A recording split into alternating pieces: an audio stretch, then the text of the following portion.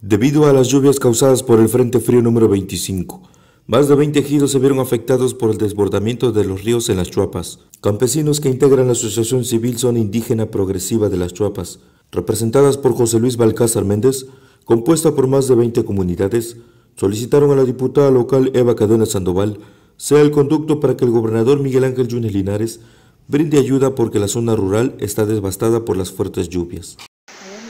Estamos viendo las aflicciones de la, de gente, de las comunidades, casas que se están yendo al agua.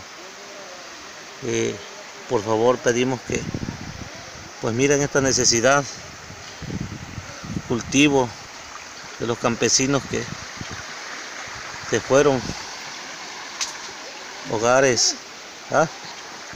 igual también a mi diputada que, pues mi diputada es la que está llevando el proceso este, doña Eva Cadena. Es nuestra diputada, nosotros la hemos estimado mucho porque es la única que siempre nos ha visitado para esta zona y nos ha apoyado. Por favor, ahí te pedimos que nos eche la mano. ¿sí? Gracias, gracias señor gobernador, gracias y gracias diputada por llevar este mensaje al señor gobernador. Estas imágenes que se presentaron son la realidad que viven miles de campesinos en el área rural, quienes claman ayuda a las autoridades estatales.